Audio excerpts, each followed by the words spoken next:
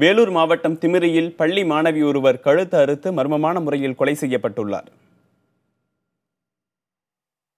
திமிரியை அடுத்த உழலை கிராமத்தை சேர்ந்த பதினோராம் வகுப்பு படித்து வந்த மாணவி தனது தாய் இறந்ததால் தந்தையுடன் தாழனூரில் வசித்து வந்தார். அவர் தனது வங்கி புத்தக நகலை கொடுப்பதற்காக பள்ளிக்கு சென்றுள்ளார்.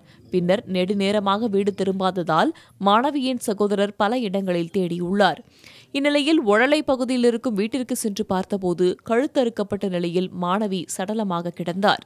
தகவல் அறிந்து அங்கு விரைந்த காவல்துறையினர் மோப்பநாயின் உதவியுடன் தடயங்களை சேகரித்தனர். மேலும் மாணவியின் உடலை மீட்டு கொலை செய்தது யார்? கொலைக்கான காரணம் என்ன என்பது குறித்து விசாரணை நடத்தி வருகின்றனர்.